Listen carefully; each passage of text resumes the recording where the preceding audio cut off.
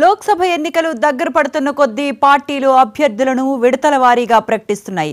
ఈ క్రమంలోనే ఇప్పటికే ఏడు జాబితాలు విడుదల చేసిన కాంగ్రెస్ పార్టీ ఎనిమిదవ లిస్టును విడుదల చేసింది. నాలుగు రాష్ట్రాల నుంచి పద్నాలుగు మంది అభ్యర్థులతో ఈ ఎనిమిదవ జాబితా విడుదలైంది.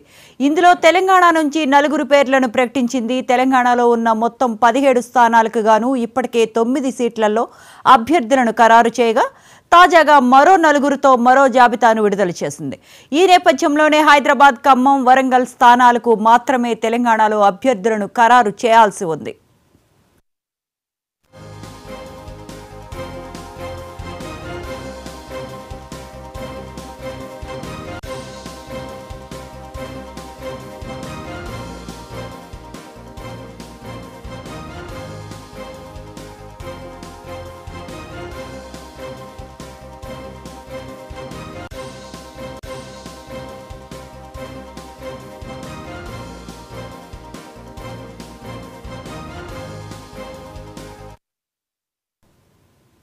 లోక్సభ ఎన్నికలు దగ్గర పడుతున్న కొద్దీ పార్టీలు అభ్యర్థులను విడతల వారీగా ప్రకటిస్తున్నాయి.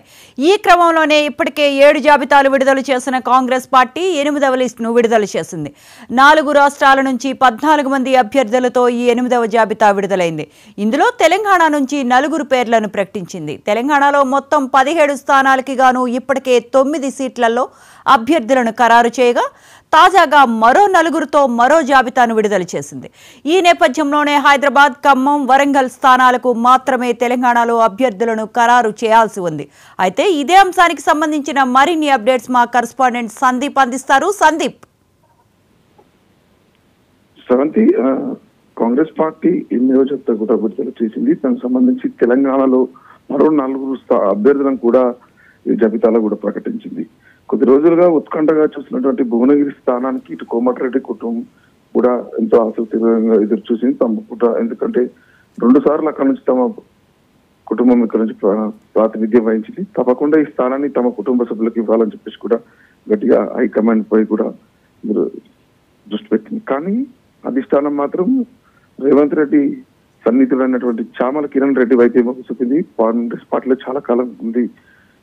యువజన రాజకీయాల నుండి యువజన కాంగ్రెస్ నుండి యూత్ కాంగ్రెస్ నుండి కూడా కాంగ్రెస్ పార్టీలో పనిచేసిన. వారికి ప్రాధాన్యత ఇస్తున్నామన్న విధంగా కూడా ఈ సీట్ ద్వారా కూడా కాంగ్రెస్ పార్టీ చెప్పింది.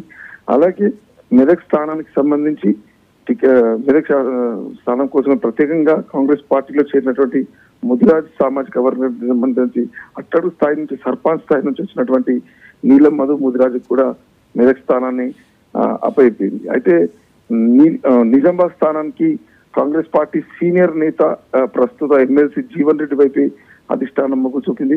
తప్పకుండా ఈ స్థానం గెలవాలంటే జీవన్ రెడ్డి లాంటి సీనియర్కి ఇస్తేనే తప్పకుండా కాంగ్రెస్ పార్టీపై ఒక గుర్తింపు ఉంటుందనే దాని విధంగా కూడా చెప్పింది. అలాగే ఆదిలాబాద్ స్థానానికి వైద్యురాలకి కూడా ఆమెకు ఇచ్చిన అతను కూడా కాంగ్రెస్ పార్టీ టికెట్ ఇచ్చిందని కూడా చెప్పవచ్చు. మిగతా ఆరు స్థానాలకు సంబంధించి కూడా మరో రెండు రోజుల్లో కూడా ఈ జాబితా వెలువడింది ముఖ్యంగా గత కొద్ది రోజులుగా కూడా భువనగిరి ఖమ్మం పైన కూడా ఉత్కంఠ ఉంది.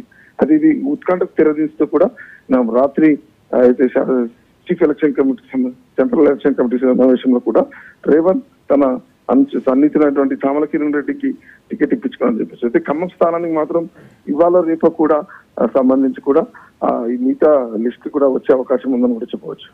Right thank you Sandeep